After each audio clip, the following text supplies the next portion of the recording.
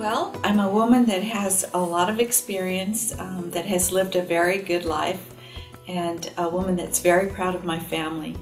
Um, I think that all my values come from the ethic that was um, instilled by my grandparents who arrived here in the city of Chula Vista in 1919.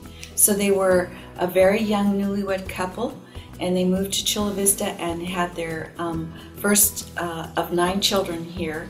And so all my nine uncles and aunts were born here, and um, subsequently uh, the rest of my family, you know, my, my siblings, my cousins.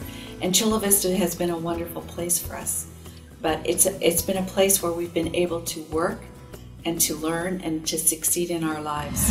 Oh, my grandparents were from Yahualica, Jalisco, a beautiful region of Mexico and it's the home, uh, actually, Agustin Yanez, who was a governor in Jalisco and later the minister of education. Um, he's actually a relative of my grandmother. So, you know, our roots go way, way back. And I just made a trip to Yahualica just past November for the first time to see where my grandparents were born. It's, it's really a wonderful responsibility. Uh, and first, I have to say that I'm the first Latina that's been elected as mayor, but I also feel that my my education and my experience before uh, made me the best person to represent Chula Vista at this point in time. Yes, I do, and um, I think that we have to emphasize that um, that historically in Chula Vista we have had a lot of ties to Tijuana and Ensenada. You know, culturally, we share families that are on both sides of the border, and certainly we have an interdependence of our economies.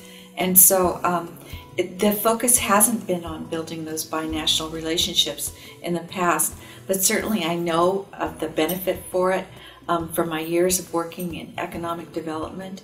And, um, you know, I want to really form relationships that last and that can show fruits of those efforts in terms of, um, you know, uh, an interchange of, of, of business, um, of culture, and education too.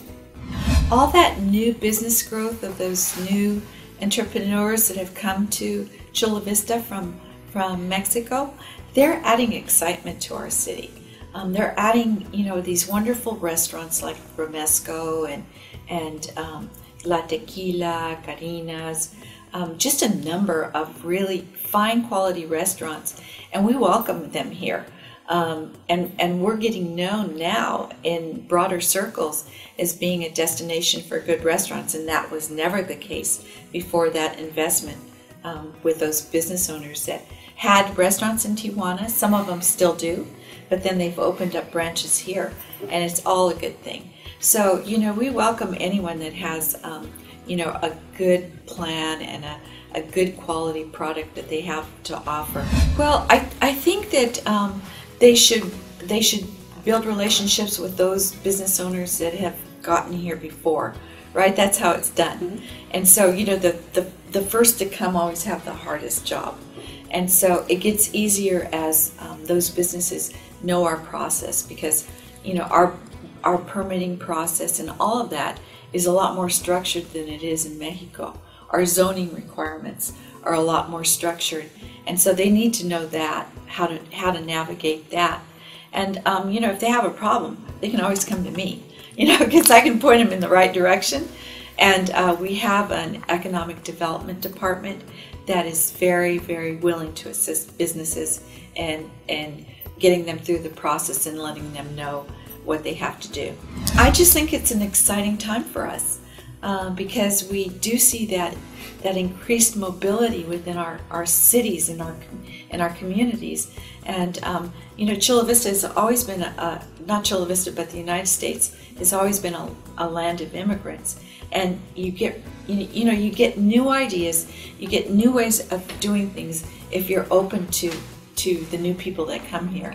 Um, sometimes, you know, if you're a, a, stagnant city, you get very stuck in a in a rut and a routine, and you can't think beyond the old way of doing things. And um, so, uh, I welcome anyone to give us good ideas. Also, uh, to those that live here in Chula Vista that that are our citizens, there's a tremendous opportunity for them to serve in the city on our boards and commissions. So we have a, a lot of opportunities for there.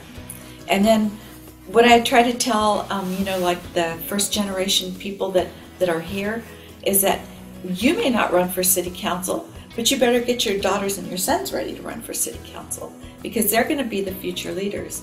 And so the, the more they can get involved in civic engagement, participating in city functions, um, then that'll lead the road to future leadership in our Latino community.